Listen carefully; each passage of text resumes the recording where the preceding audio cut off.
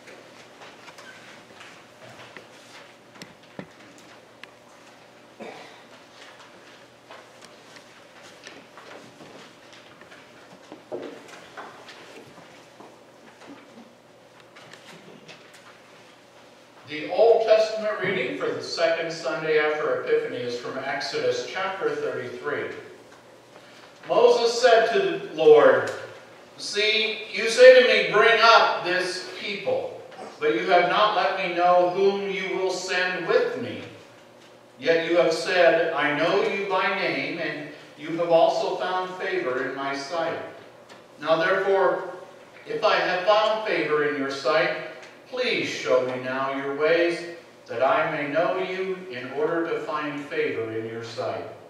Consider, too, that this nation is your people. And he said, My presence will go with you, and I will give you rest. And he said to him, If your presence will not go with me, do not bring us up from here. For how shall it be known that I have found favor in your sight, I and your people? Is it not in your going with us, so that we are distinct, I and your people, from every other people on the face of the earth? And the Lord said to Moses, This very thing that you have spoken I will do, for you have found favor in my sight, and I know you by name. Moses said, Please Show me your glory. And he said, I will make all my goodness pass before you, and will proclaim before you my name, Yahweh. And I will be gracious to whom I will be gracious, and will show mercy on whom I will show mercy. But, he said, you cannot see my faith, for man shall not see me and live. And the Lord said, Behold, there is a place by me where you shall stand on a rock. And while my glory passes by, I will put you in a cleft of the rock, and I will cover you with my hand until I have passed by. Then I will take away my hand, and you shall see my back, but my face shall not be seen. This is the word of the Lord. Thanks be to God. The epistle is from Ephesians chapter 5. Wives, submit to your own husbands as to the Lord. For the husband is head of the wife, even as Christ is the head of the church, his body, and is himself its Savior. Now as the church submits to Christ, so also wives should submit in everything to their husbands. Husbands, love your wives as Christ loved the church and gave himself up for her that he might sanctify her, having cleansed her by the washing of water with the word, so that he might present the church to himself in splendor, without spot or wrinkle or any such thing, that she might be holy and without blemish. In the same way, husbands should love their wives as their own bodies.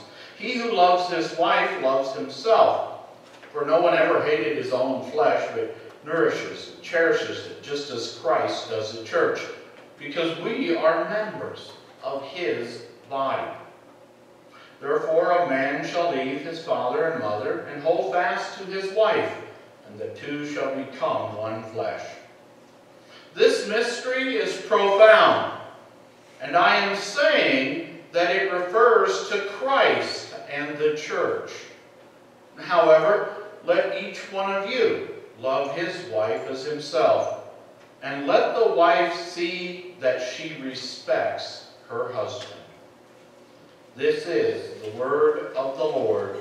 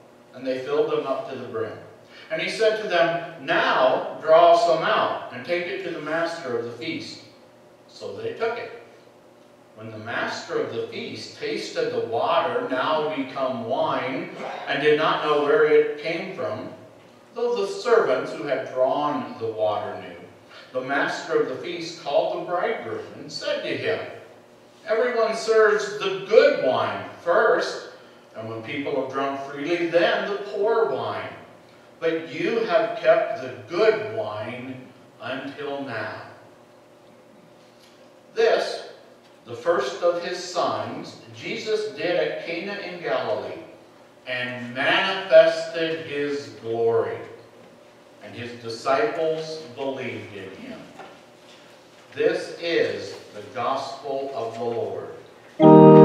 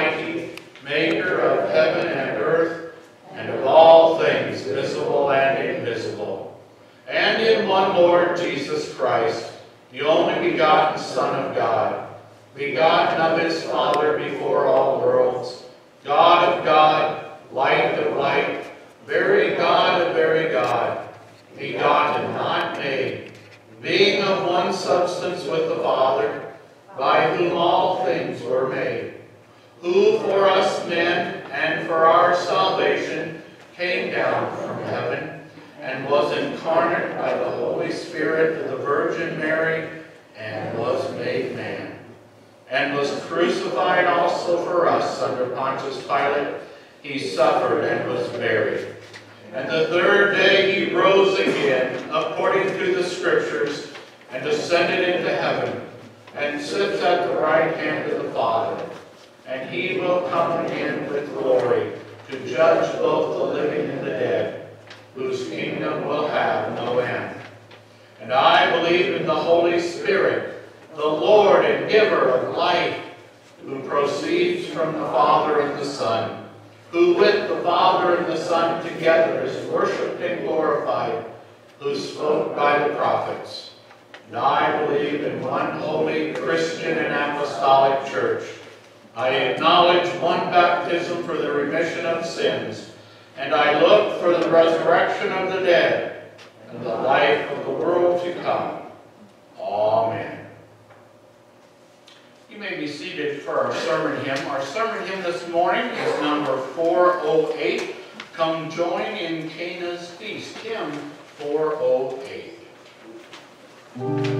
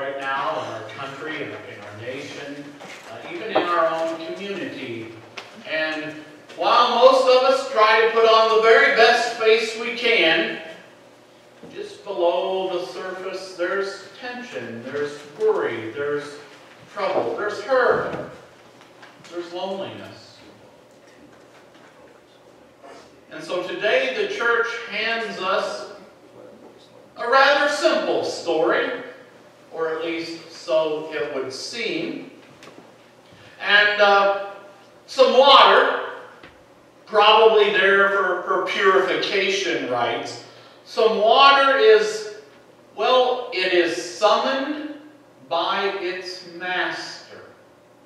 It is drawn by servants as directed by Jesus. And we sometimes say it blushes. It turns from water to wine. And so we have the first of, of seven of the miracles or, or signs, as John calls them. And in it, we are told that Jesus manifested his glory. And so it becomes a fitting epiphany text.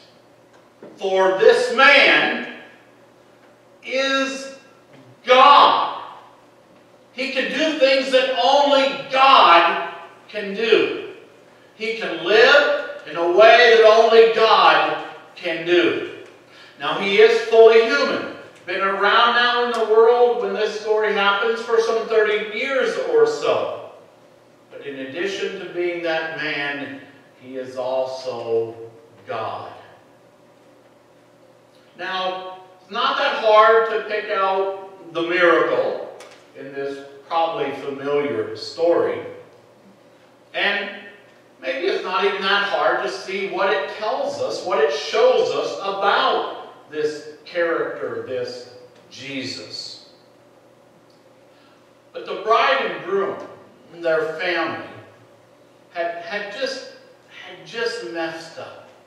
And to run out of wine at a wedding feast would have been a major social faux pas. And in the midst of that uncertainty and worry, there's Jesus. And John tells the story in a very simple way, but he does it in a way that if you'll allow yourself a little time, and if you'll turn your mind loose just a little bit, I think John will invite us to see, or at least be mindful of so much more than the obvious miracle itself. You see, John wrote his gospel after the gospels of Matthew and Mark and Luke had already been written and were already accepted in the church. So he doesn't need to retell the story once again as they had done. And so John is free to, to fill in some of the other details or to write his gospel in a way that helps us recall and think about maybe even more than we first see when we encounter the story. I mean, come on. On the third day? And where does your mind go? If it's like mine, it goes to Good Friday and to Easter. Behind this simple miracle story looms Easter and the resurrection. Uh, there's a setting of the wedding feast, and later Jesus will use a wedding feast as the backdrop for much of his teaching and for some of, some of his best known parables. Mary and the other disciples are there. But you know something interesting? In John's Gospel, this will be the last time we hear of Mary. The first and last time we will hear of Mary until we find her and at least one of the disciples standing at the foot of the cross. Even as he tells the story, John would have us remember where Jesus was going. There are obviously the people in need, the people at the feast, the bride and groom. And we have Jesus speaking of his hour and how his hour has not come. He will repeat this later in John's Gospel. And then, during Holy Week, as his betrayal and arrest draws near, Jesus will declare, My hour has come. And then, of course, there's wine. Well, water to start with, and then wine. And not just any old wine, not just wine suitable for addressing the problem, but the best wine. A wine so much better that the steward or the host had to go ask the groom, What's going on? Why have you saved this for the end? Now, our minds might track to a, a whole host of different stories from Scripture. Uh, references to the six stone jars. Um, we might begin to think of, of a six day creation in the beginning. Or we might think of all of the Old Testament purification rituals and requirements. That, that old stuff that had gotten pe God's people this far by continuously looking ahead to the Messiah, to the long promised Savior. And John, Jesus, had begun to announce he was here. And so now, Jesus is standing there amongst or, near these, these stone jars used for ritual purification. And uh, he stands there surrounded by his disciples and other wedding guests who are sinners. Even though they may have been washed with this water in an act of purification, they were sinners and the water would not atone for their sin. I'm sure the people back there gossiped. I'm sure they grumbled and complained about taxes and about the government and about their neighbor and about the no good so and so in their family or down the street or in the church. I'm sure they worried more about themselves than about others. And I suspect they didn't always keep God as the number one thing in their life. They didn't fear, love, and trust in God above all things. And neither do we.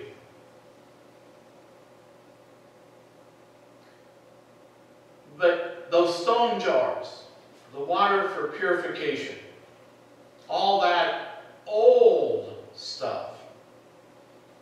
Good, helpful, perhaps even the best that man could do for a time.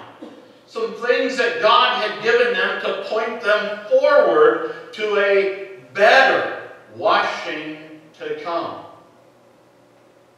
That water was to remind them that they needed to be cleansed, they needed to be washed, their sin needed to be atoned for. But God's law and obedience to God's law, even our very best efforts, would never be enough. The law was never given to save. Because God is holy, and we're not. We're not even close left to ourselves. And so, along comes Jesus.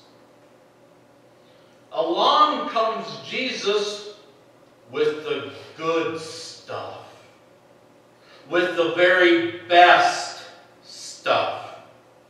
with healing and forgiveness, with light and life and love.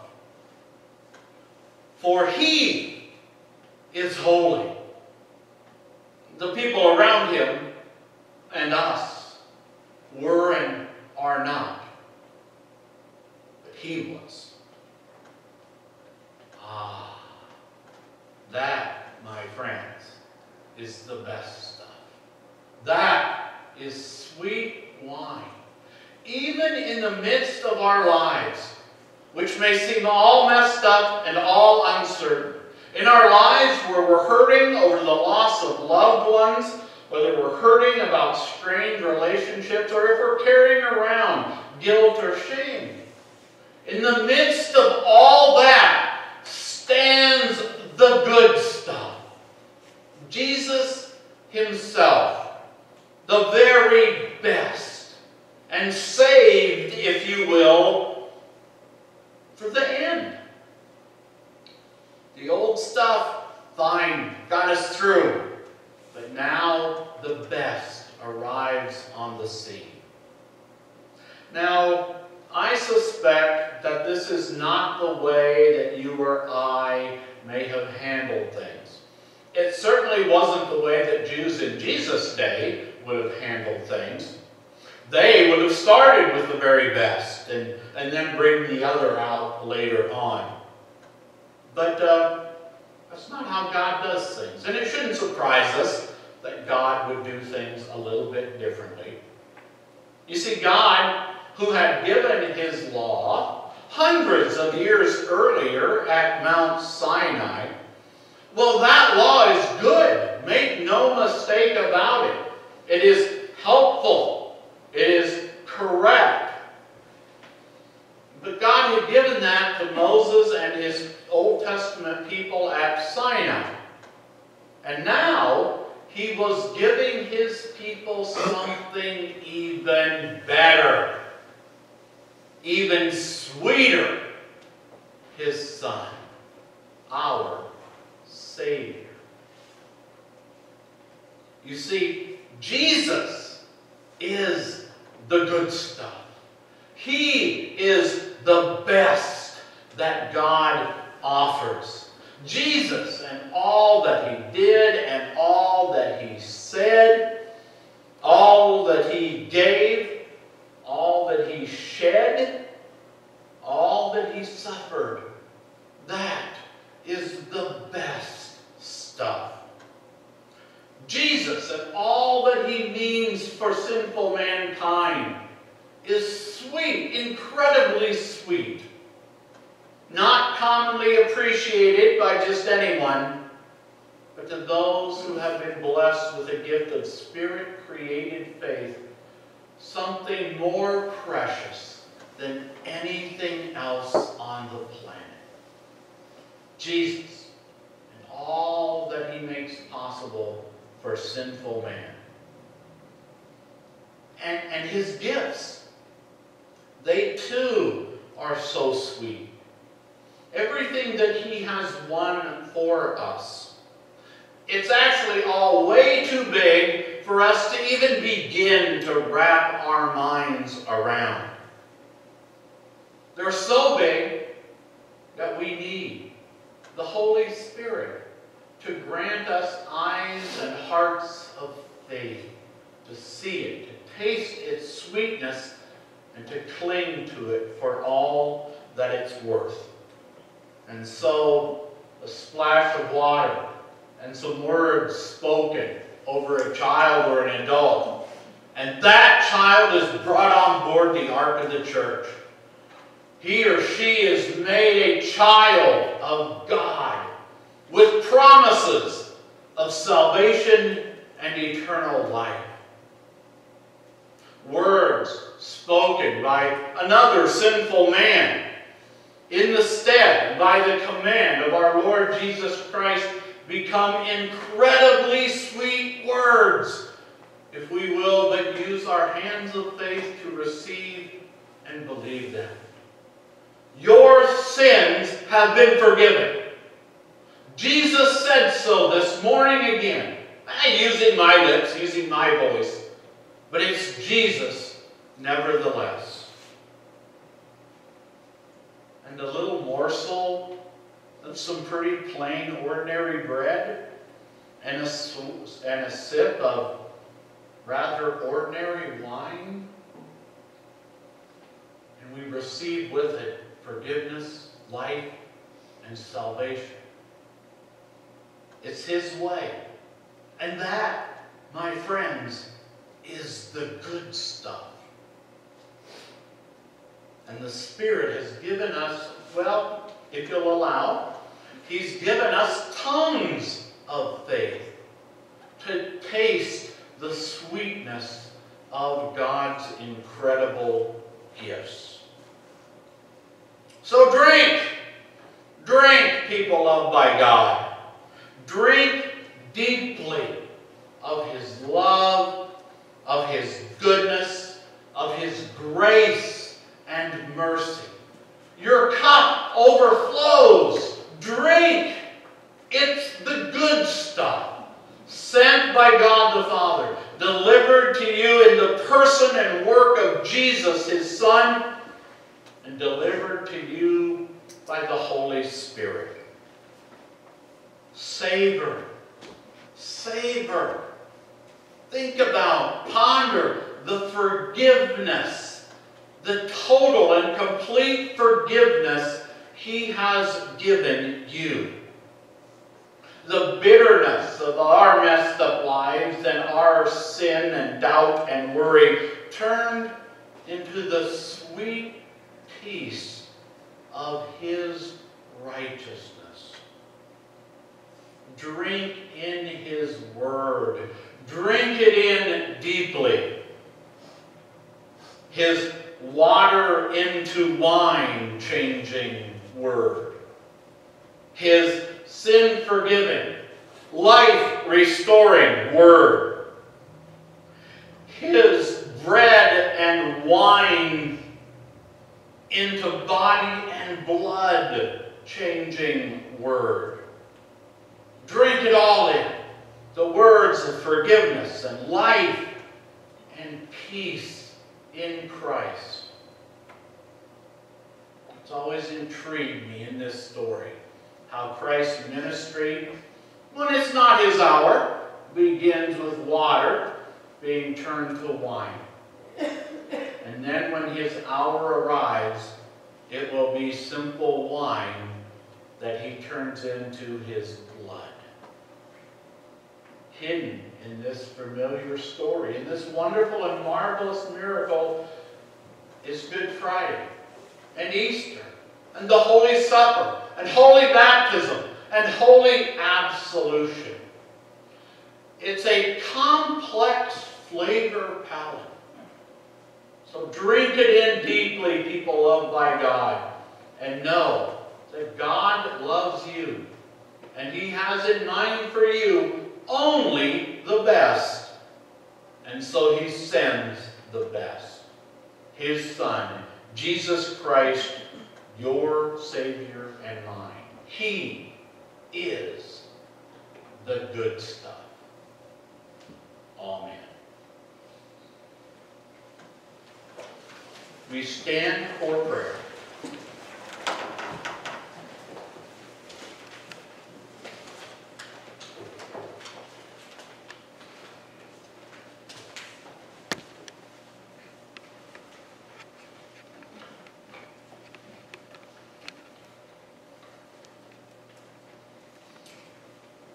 This morning, as we lift our prayers and petitions before God's throne of grace, we want to remember especially the family and friends of Becky Wiesman, who entered her final rest uh, last evening. Uh, she spent a couple of days in the hospital over in Alton, and then was able to come back home, and she passed away there, surrounded by family and friends last night. We pray. O Christ, at Cana you manifested your divine glory with your first miraculous sign. By faithfulness to your word, make this congregation and all your church a light that shines your love and forgiveness into our sin-darkened world. Lord, in your mercy, hear our prayer. At Cana, you pointed to the glory to be revealed when you would be crucified and raised to win salvation for all. Open our hearts and the hearts of fellow sinners everywhere to your gifts in the word and sacrament, that we may receive and hold fast the gift of eternal life. Lord, in your mercy, hear our prayer.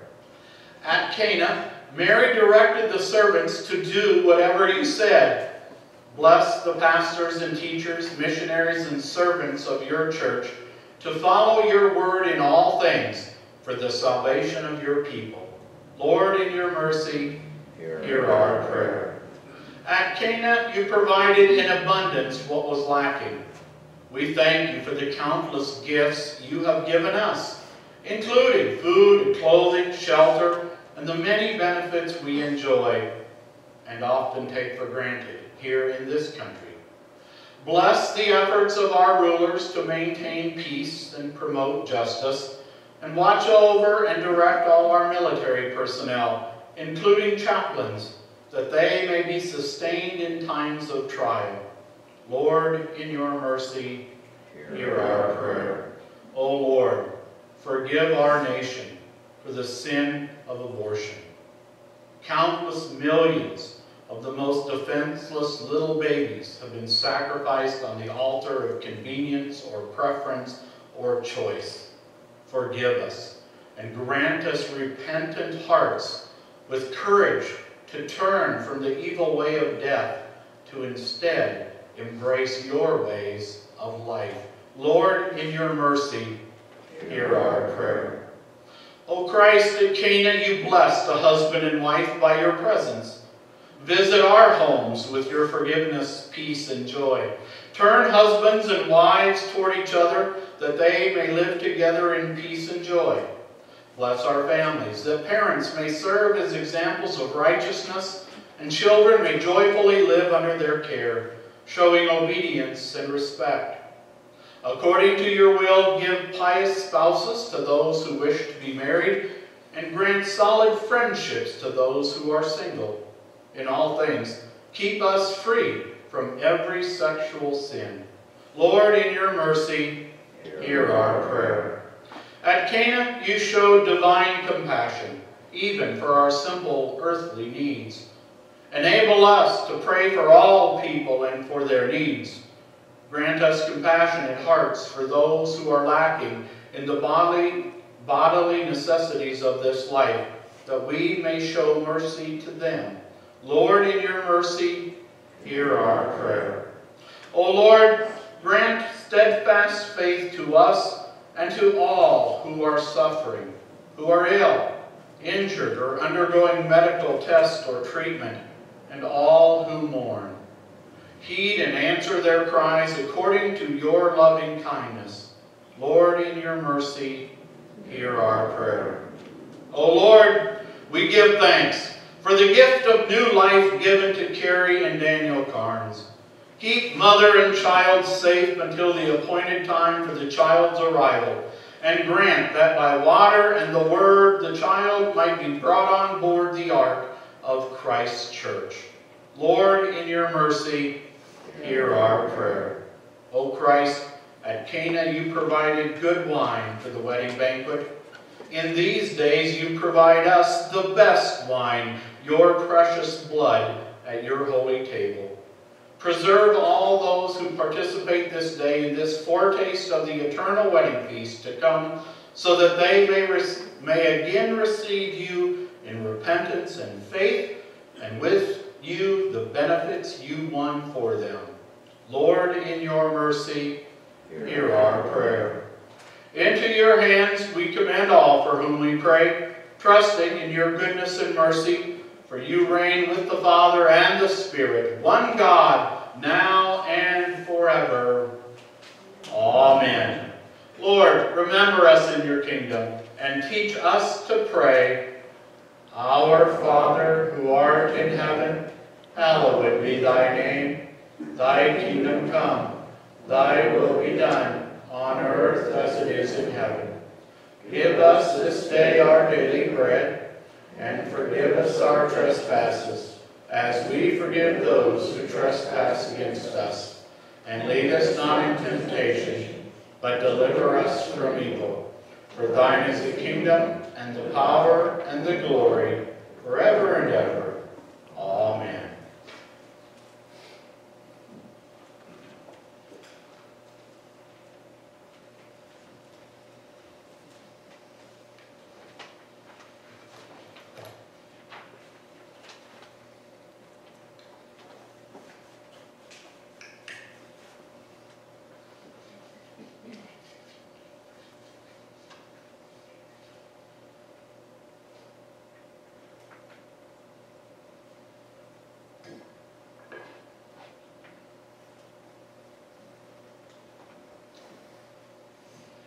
our Lord Jesus Christ, on the night he was betrayed, took bread. And when he had given thanks, he gave it to the disciples and said, Take, eat. This is my body, which is given for you. This do in remembrance of me. In the same way also he took the cup after supper, and when he had given thanks, he gave it to them, saying, Drink of it, all of you. This cup is the New Testament in my blood, which is shed for you for the forgiveness of sins. This do as often as you drink it in remembrance of me.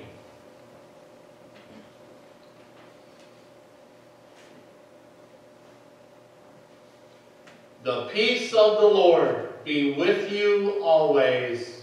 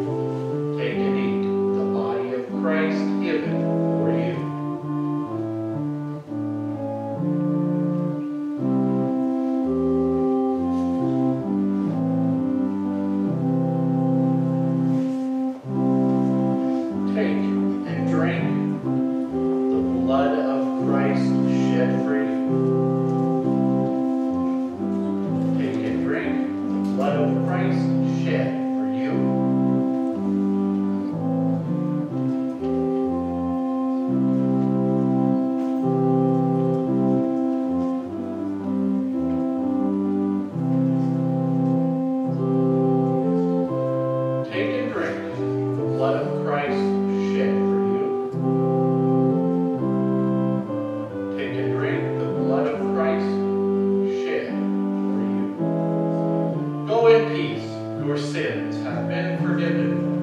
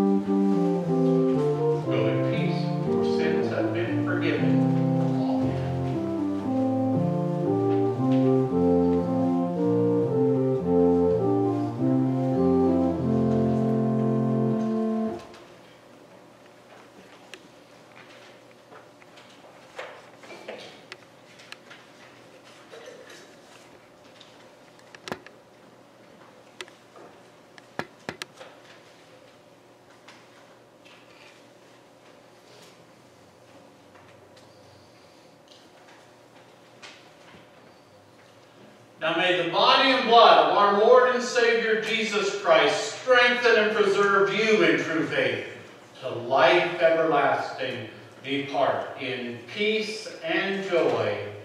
Amen. We stand.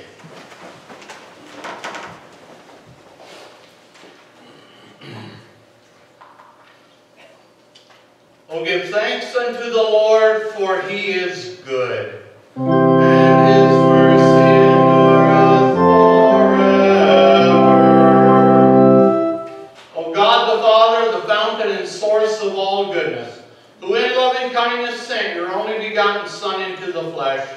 We thank you that for his sake you have given us pardon and peace at this sacrament. And we ask you not to forsake your children, but always to rule our hearts and minds by your Holy Spirit, that we may be enabled constantly to serve you. Through Jesus Christ, your Son, our Lord, who lives and reigns with you in the Holy Spirit, one God, now and forever.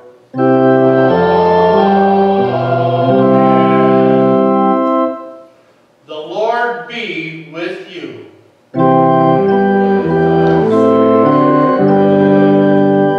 Bless we the Lord. Thanks be to God. The Lord bless you and keep you. The Lord make his face shine on you and be gracious to you.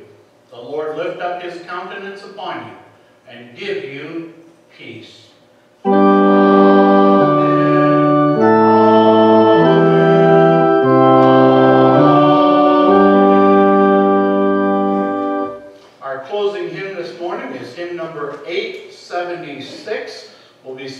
verses 1, 4, and 5 of 876, O Blessed Holy Trinity.